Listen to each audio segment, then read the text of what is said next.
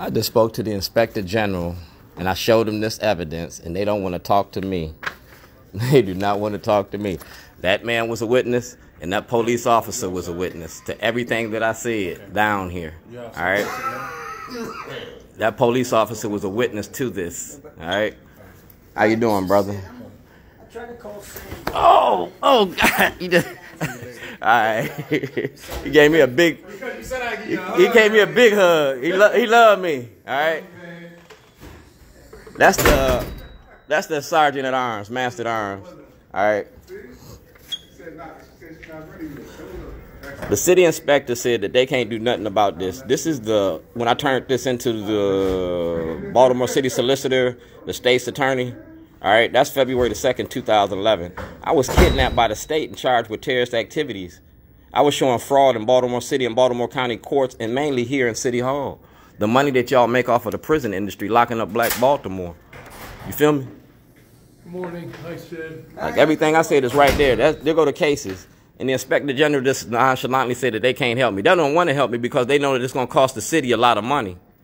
It's going to cost the city a lot of money. I came to file a class action lawsuit about the treatment of black people in Baltimore, a $2.5 billion class action lawsuit. Y'all is in $3 billion in debt. You can't afford a lawsuit. My paperwork in order, man. That's an interstate compact. I am Dred Scott. Dog, y'all was getting paid off of me in Illinois and Maryland. Like I said, that police officer was a witness, and that man was a witness. We were sitting right here. I'm to show you how these politics and politicians really work, dog, for real. Information. Yeah, see it back door. That was received in 2012. That was received in 2011.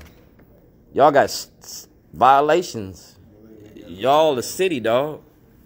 Y'all talking about crime and justice? Kai Jackson got this. Mary Mubala got this. You feel me? And y'all wonder why I be shutting y'all down. Dog, like I said, I go to jail for the right reasons. Martin Luther King went to jail, and he's sitting up in there right now, and y'all talking about Martin Luther King. That's where y'all talk about pimping people shit. How you doing? Talking about pimping people shit. Dog, like I said, I want my day in court. I was kidnapped by the state of Maryland and Illinois, and fraud was committed by the state. Scott Shellenberger, Gregg Bernstein, Marilyn Mosby, Brian Frosh, Doug Gansler. Dog, I'm gonna holler, man, I'm gonna shut shit down. Like I said, charge me, charge me, lock me up. I go to jail for the right reasons. I go to jail, that means I get a trial. I get a trial. You feel me? And you're gonna have to produce this evidence. And you're gonna have to produce all the material from these cases. All right, thank you. They're not in here, That's Johnny Olszewski. Oh man, I'm putting this on the step. That's Johnny Olszewski and Chief Hyatt. All right. This is my third letter. This is emails. All right. Civil lawsuit emails. You see who got that? That's Gene Wolofsky. All right. Congressman Cummings' office.